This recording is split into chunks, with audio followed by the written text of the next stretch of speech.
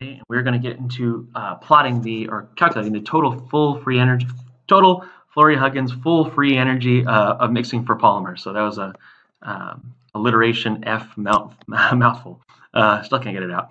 Anyways, so we figured out our delta H of mixing. We figured out our delta S of mixing, all molar quantities you see in here. So the full free energy um, of mixing is just going to be, again, our enthalpic term, the H mix here, plus our delta S term, delta S mixing right here. So this is our full Flory free energy for uh, mixing.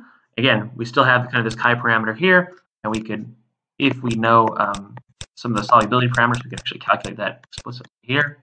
Always kind of be wary of this expression uh, that we have at our hand. So um, remember, X1 is the degree of polymerization of polymer species 1 or species 1. X2 degree of polymerization of polymer species or species 2. So there are going to be three different um, kind of scenarios that we're typically going to be working with. So one is solvent-solvent. So you'll see that if we have solvent-solvent, this is effectively a degree of polymerization of 1, monomer-monomer, gas molecules. This is just basically working as our Bragg-Williams theory. Nothing is different, uh, and we'll kind of see similar uh, phase behavior. Um, you can see here, uh, we also have a scenario of mixing solvent and polymer, where X2 is large. Again, we'll say that N, our total number of you know molecules, uh, or number of excuse me, number of monomer units, that's going to vary typically between you know 10 and 100 K uh, for a lot of scenarios. And we can mix polymer-polymer. So X1 and X2 can be large, and we can have a situation where X1 equals X2, symmetric, or X1 does not equal X2. And we're going to see some, again, some really, really kind of different um, behavior in our uh, basically free energy diagrams. So uh, if we look back at our presentation, uh, we can kind of see, again, you see the similar, these are just kind of nice derivations, uh, our three different scenarios. So scenario one, two, and three. We'll come back to those a little bit later. Not come back, but we can visually see, uh, that's just more equations. These are typical mixing scenarios. So again, small molecules, polymer and a solvent mixing, and then polymer-polymer mixing. And again, the key thing is this delta S mixing. It's this. It's the same thing as uh, your Bragg-Williams S mix divided by this X1 and X2. And it's just that again, you know, our number of polymers, our our, our basically our entropic push for mixing is less because you can look at the number of molecules that I could fit on the lattice versus the number of polymers. So that's kind of what's taken into account. So we're decreasing. Um, we're decreasing because you know the translation is just this one single unit. As whereas here this guy can move here. This guy can move here. There are a lot. Um, the number of microstates is less once we kind of include these huge polymers that we are working with uh, and kind of dealing with here. So uh, we're going to see in a second. Uh, this is kind of a couple schematics of the Flory-Huggins polymer mixing um, as a function of chi. So you can see here that this minus t delta s term, our delta s mixing, again, never depends on chi. It's always going to be uh, pushed towards mixing. So actually, let's let's look at this for just a second here. Um, what I'm going to do is let's plot, for example. Uh, so what I have defined, so we have our delta S of mixing right here, the Bragg-Williams right here, and all we're going to do, I'm going to define my Flory-Huggins is going to be FH minus T delta S. So that's all that we're uh, kind of working with here. So going back to this, very similar to this expression right here. So minus t delta s, again, it's just going to give you uh, kind of those parameters. So once I plug that in, I get this expression right here. And now I can plot my Flory-Huggins full free energy right here. All I'm doing is taking this expression and copying and pasting it uh, into here. So this is my full free energy diagram. Uh, you can see here, negative values. Uh, and I could change now some of these parameters and see what my curve looks like. So if chi, I'm going to flip my screen here for a second. Remember, now this is a free energy curve for mixing. So this is saying that if I'm along this curve, I want to mix my polymers or my solvents or whatever's happening here. You can see here, I'm in the first scenario where I'm just mixing molecules. So if my chi is minus one, it really, again, all the values are negative here. If it is positive 1, I see, again, still negative everywhere, right? The curve is uh, concave up my second derivative is greater than zero, I'm stable. Hopefully you remember some of those terms. But once, and you can see kind of, again, your axes will change a little bit. Uh, the magnitude changes, but again, you see it's still, the shape of the curve is still is concave up. Once I start to get to about two, you see kind of, I reach this point where this curve starts to flatten here. And if I do 2.1 for a chi parameter, again, as I increase chi, it's saying that one and two species don't want to be next to each other. Now I start to see basically these locations where I have a common tangent. Um, and these common tangents are actually the value of this slope here between here and here is zero. But we'll, we'll get to that. We'll prove that a little bit later on. You see here, if I increase it, I can really start to see kind of this fate, this you know, these common tangent areas. And so hopefully you remember back from, and we're going to show, we'll do draw a, couple little schematics in a second, but uh, hopefully you remember from material science that when I have a common tangent, basically there's a lower free energy state. If I'm sitting here, if I want to be mixed, I can lower my free energy by going to this common tangent.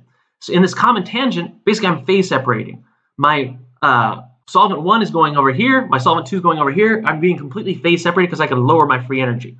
So we'll draw that in a second, uh, it out. But you can see once I cross this kind of um, magical value of two, and we'll prove this mathematically in a bit, then I start to kind of phase separate. If I do three, you know, or four, you know, you really start to see kind of these uh, changes in free energy. So uh, material basically wants to be from here to here, I always wants to be separated. Now, let's see what happens I do a value of 1. What happens when I do, say, mix a polymer? So this 100K. Actually, let me let me have Z or chi be 0. Um, so right here, again, I'm not symmetric. Uh, and again, we saw this. This is due to, you know, again, the definition um, and from our entropy contribution as well. So I'm not symmetric, but again, I'm still concave up here.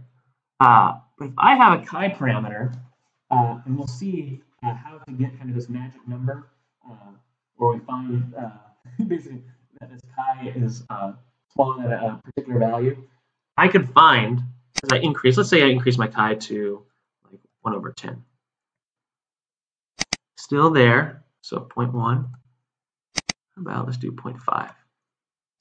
Still concave up here. Actually, let's do let's do a value of 1. So now I'm starting to kind of see these different, uh, basically common tangents. So actually, there's a common tangent between here and here. So basically, everything between here and here, again, I you see kind of this change in curvature, and that kind of denotes this common tangent, uh, and you'll kind of find out these magical values as well. So you see, basically everything here uh, does not want to mix. So again, there's a lower free energy state. If I could draw this common tangent, it does not want to lie on this mixed curve. If I'm at this energy in the mixed curve, there's a lower energy state if I have that common tangent. Um, I could also find if I have a symmetric polymer, so let's say I have a, something that's 100 and 100 here. So let's say, let's say my chi is uh, 1. How about 1 divided by 200? So you see now, my chi is low enough. I am still, everywhere wants to be mixed. But once I go to a chi of 1 divided by 100, ooh, I start to flatten out a bit. What about 1 divided by 50? Uh-oh, I'm really flattening out here. What about uh, here, where I can go from 10? Now I'm starting to see uh, kind of some values. So 0.1, about 0.05. Again, you can see we really start to shift. Everything here does not want to mix. So let's do 0.1 one again. So about 0.002, 0.005, 0.01, 0.02. You're going to start to see again the trend here, and you can see the flip. You can see where the flip occurs. Uh, so now you can, you know, again, really kind of imagine uh, how you're working with uh, definitely these uh, these different polymeric materials. So from here to here, again, free energy. You look at here, we're symmetric as well. So when you're dealing with symmetric polymers, your free energy curve is symmetric. These uh, points, these common tangent points, these binodals, hopefully you remember that, uh, are going to occur at when the slope is equal to zero. But anyways, you can see between here and here, we are completely phase separated. We do not want to rely on this free energy mixing curve. Uh, we instead want to be in a scenario where we demix. So uh, let's take a step back and hopefully remember some material science. Um, uh, I'm going to draw a little bit right here. So let's go back to uh, over here. In material science, hopefully you encountered a phase diagram like this. I'm actually going to do my draw like this. So temperature typically versus some mole fraction XB, which is going to be very similar to our basically phi B or phi 2, phi 1, uh, et cetera, et cetera, et cetera. So maybe you found a lens diagram where I was liquid here, and then in between here I was solid. So I have the solid plus liquid two phase region, right?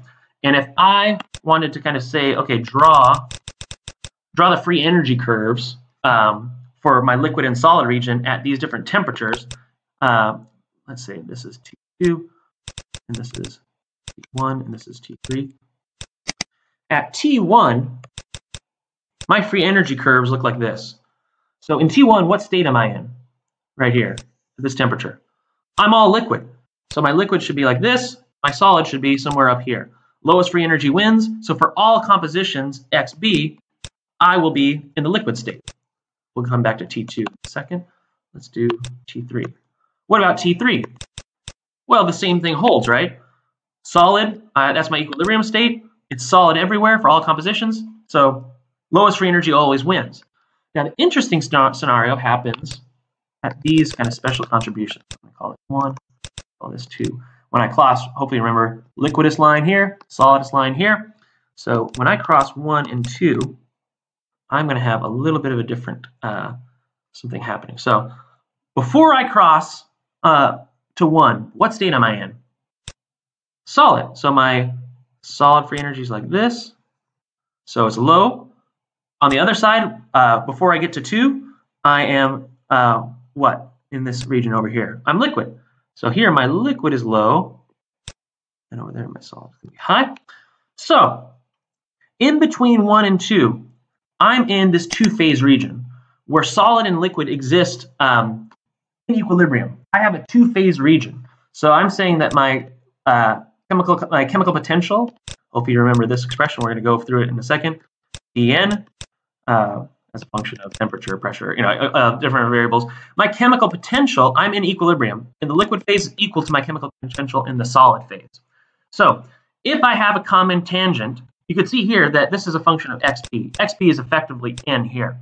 So if my two phases are in equilibrium, given by this expression here, it means that the slope of my free energy curves in these phases are equal. So if my slopes are equal, it's saying that between this point and this point here, where I'm in equilibrium, I have a common tangent. So there is a curve here where between this point and this point, my slope in this phase and the slope in this phase is the same. So I have a common tangent line right here. So there's basically a, um, a free energy state here where I'm not in the pure solid phase, I'm not in the pure liquid phase, instead I'm in a two-phase region. So once I've crossed these points, I don't want to be pure solid anymore. There's a lower energy state. I could drop down into here and lower my free energy. The same thing for the liquid. There's a lower free energy state. I don't want to be pure liquid. Instead, I want to fall on this common tangent line and I want to be in equilibrium. I want to be in a two-phase region. So the same thing is going to hold for what we're working with here. So as you can see in our presentation, once I find, this is my free energy curve for mixing. So here, everywhere wants to be mixed. There's no common tangents. Everywhere we want to be on this line. This is our lowest free energy. We want to be on this line as well. But once we get to here, this chi of 3, there's a common tangent here and here. So if I draw a common tangent line, I don't want to be mixed anymore. I want to drop down to a lower free energy. This is my demixed state. This is my phase separated state. That's the critical idea here. This is a free energy curve for mixing. I can lower my free energy once I have a common tangent, basically that my two species are in equilibrium in this kind of demixed state, that I can lower my free energy that way. I don't want to be mixed anymore. I can lower that free energy to that common tangent. So I'm going to generate basically a phase diagram at high, you know, as a function of phi phi 2, where at certain temperatures, again, uh, I will be either mixed or demixed.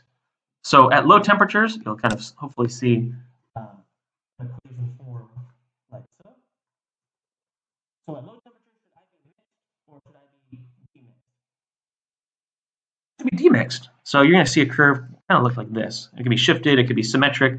So high temperatures, I should be mixed. Again, our entropy dominates, and here demixed. And we're going to figure out what temperatures, or equivalently, we could also plot this as a function of chi, because uh, we know that chi is inversely related to temperature. So E2, you'll see this curve flip. Why? Because low chi values, what does that mean? It means high temperatures. Uh, or equivalently, low chi values mean that 1 and 2 like each other. At high chi values, they hate each other. So they're going to demix in this region here. So, more on that in the next video uh, and in uh, several videos ago, but hopefully that was a nice crash course in uh, kind of remembering some of the material science and phase diagram material. We're going to look at many, many more examples uh, coming up soon. So thanks, and I'll see you all next time. Have a good one. Bye.